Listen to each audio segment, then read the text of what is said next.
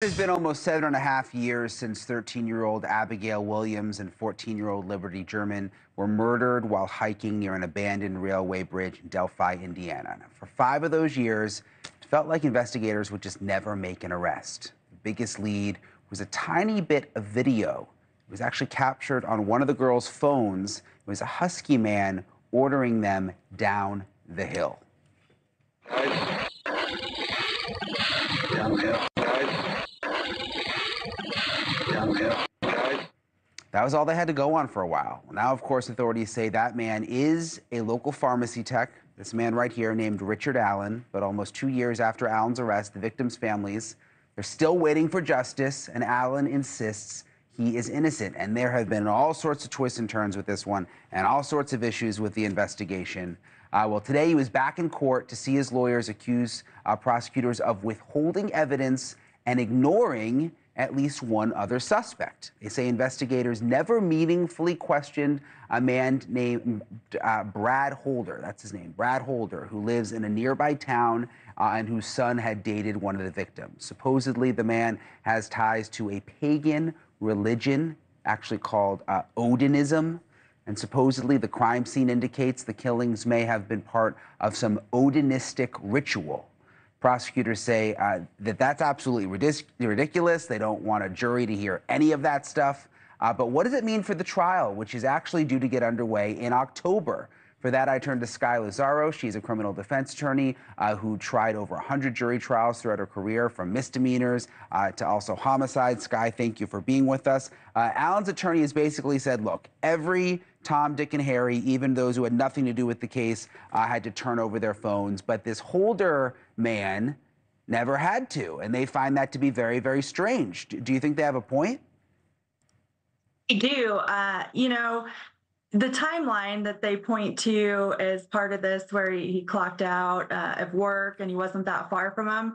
Um, and then his his ties to one of the victims. I think if you're going to talk to everybody else and you're going to look at everybody else's phone i think ignoring that unless you can positively exclude someone as a potential witness is a problem.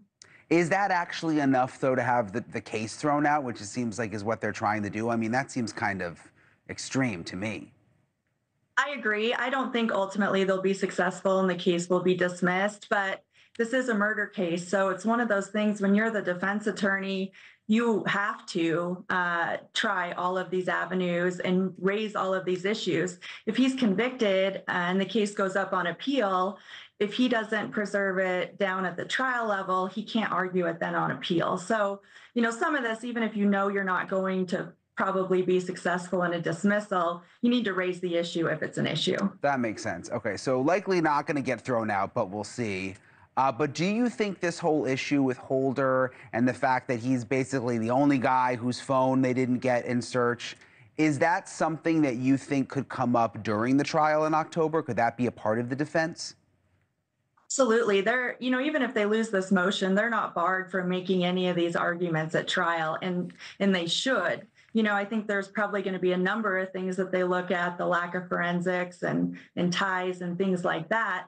But you also, if you can point to someone else, you should. Now, that can be a little a bit of a double-edged sword because what you don't want to do as the defense is somehow get the jury thinking that you have to prove something.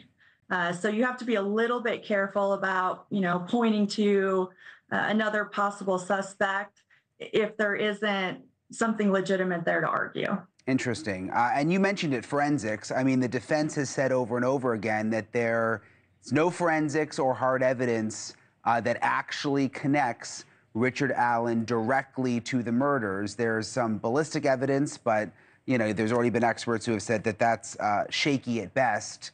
It seems like forensics here would be uh, more of the defense. The lack of forensics would be more of the defense strategy than maybe bringing in this this other guy agree with that. I think that's their best argument. And that's probably the one I would hone in on and spend the most time on is, you know, if this individual uh, committed these killings and it's the individual in that video, there should be or they should have found something uh, to tie him to them you know some some sort of cyber or uh, DNA evidence or something along those lines, um, it's, it's pretty hard to commit a crime and not leave any trace behind.